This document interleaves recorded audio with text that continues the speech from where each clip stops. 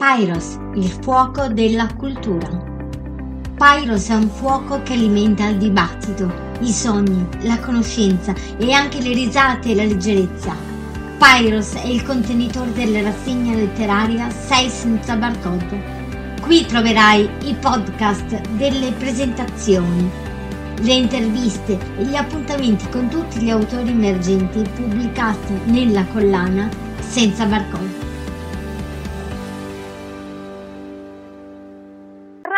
De Lorenzo, in arte semplicemente De Lorenzo.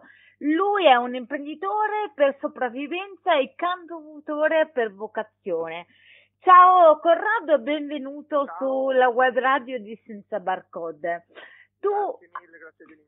Hai una bella storia perché centinaia di concerti live, tre album in studio con il Power Trio, il motorino di Nicola e nel 2000 con il Corrado non c'entra, poi ci racconti anche meglio. Dal 2017 decidi di eh, occuparti solo dei tuoi testi e da solo e esci con i dettagli cromatici. E poi a settembre esce Gregor Sa- come Gregor Samsa, il singolo che anticipa l'uscita del tuo album, De Lorenzo. Ricordo Gregor Stanza è un personaggio ideato da Kafka ed è uno scarafaggio. Il 18 ottobre è uscito il nuovo disco, appunto, De Lorenzo, registrato e mixato da Riccardo Parravicini. Corrado, parla tu, raccontaci della tua storia, della tua vita, del perché per sopravvivenza fai l'imprenditore ma il cantautore per vocazione. Allora, intanto beh, ti rispondo a questa domanda, campare oggi facendo il cantautore è molto difficile. Quindi eh, o segui la via del sacrificio assoluto o la via francescana o, o cominci a macinare grossi numeri o non, non campi. Quindi io ho una laurea in, una laurea in economia e l'ho usata e ho, ho una mia attività che porto avanti, a fatica ma porto avanti e, e poi ho la passionaccia della musica che l'ho, l'ho sempre avuta. E, come hai detto tu nella presentazione, ho sempre suonato in band, ho fatto alcuni lavori con band, specialmente con questo Power Trio con cui ho suonato veramente molto in tanti club in Italia e anche, anche in Spagna ho suonato parecchio.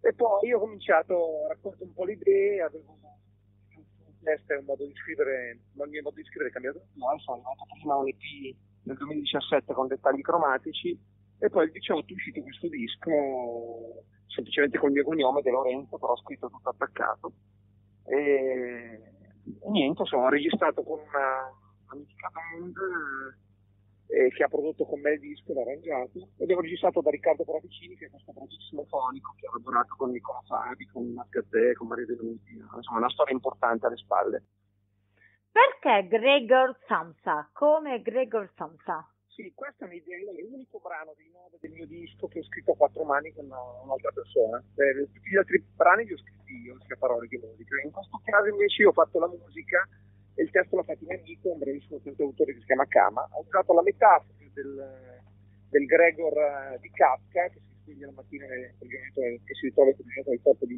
di un insetto. Mm, ho usato questa, diciamo, questo mezzo artistico e questa reminiscenza kafkiana per, eh, per, parlare sostanzialmente delle, delle, situazioni che ci bloccano e ci fanno vivere una vita che non è più la nostra. Un po' come il greco che si sveglia la mattina e fatica a capire cosa è successo e perché si trova lì bloccato guardando il soffitto. E così capita a noi quando siamo nella storia sbagliata, con la donna o l'uomo sbagliato, consumati in un lavoro che non ci piace, che di questo parla, parla la canzone ed è un invito alla liberazione, insomma, a ritrovare se stessi e a vivere la vita che, che ci appartiene. Beh, un invito alla liberazione è molto, a me piace molto come riflessione, eh? complimenti. Bene, grazie. Per quanto riguarda il nostro articolo, uscirà una nota anche su senzabarcode.it, troverete anche eh, i dettagli del video di Gregor Sansa che è molto bello, a me piace molto, Grazie. semplice e asciutto. Io amo le cose eh, come si possa dire, pulite. Dogana Vecchia, ristorante e country house. Dal 1982 manteniamo viva la tradizione del nostro territorio, proponendo inalterate le ricette tipiche di un tempo, tramandate da generazioni nell'alta valle del Tevere. Noi crediamo nell'importanza delle tradizioni della nostra terra e nelle persone che la abitano, per questo scegliamo solo prodotti di provenienza locale per offrirvi ricette dai sapori indimenticabili. Vi aspettiamo in vocabolo Dogana Vecchia a Città di Castello 348 649 4794. Che io le amo molto e anche quando parlo di musica con gli amici, a me piace molto l'idea di sottrazione. L'ho applicata anche nel disco, nel senso che non è stato, è stato molto bene, sembra un po' vanaglorioso, però in realtà è stato, è stato registrato con estrema cura e mixato altrettanto bene. Però Ah, io ho sempre tenuto d'occhio il criterio della sottrazione, cioè non, non è affollato di 2000 suoni, di, di, arrangiamenti troppo esagerati e barocchi, perché mi piace molto la semplicità. E questo è piaciuto anche a me. Io sono convinta che ci si avvicina alla perfezione quando non c'è più nulla da togliere. Meno no, elementi e pulizia. Questo... Infatti io spesso cerco di mettere poco e se metto troppo dopo inizio un lavoro di di pulizia per togliere tutto il superfluo. Assolutamente d'accordo. Quando sarai a Roma? Allora, a Roma non lo so ancora, però a breve, nel, perché stanno arrivando date anche su Roma, nel giro di eh, 15-20 giorni arriverà anche la data di Roma, la pubblicherò sul, su Facebook. E ti chiedo di tenerci aggiornati così possiamo sia venire noi come redazione di Senza Barcode, ma anche i nostri lettori, i nostri ascoltatori della web radio. Eh, cercatemi sul web, ci sono diversi videoclip anche su YouTube, su YouTube mi trovate come Corrado De Lorenzo e niente, ascoltate oppure anche nei principali, ovviamente il disco è disponibile anche sui principali digital media store, come li chiamano, quindi ai vari iTunes, Amazon, su Spotify ovviamente. Cercatemi semplicemente come De Lorenzo, tutto attaccato e potete ascoltare il disco. Allora, cerchiamo De Lorenzo e non perdetevi il video che è veramente fatto con cura ed è molto bello. A presto! Pyros, il fuoco della cultura. Pyros è un fuoco che alimenta il dibattito, i sogni, la conoscenza e anche le risate e la leggerezza.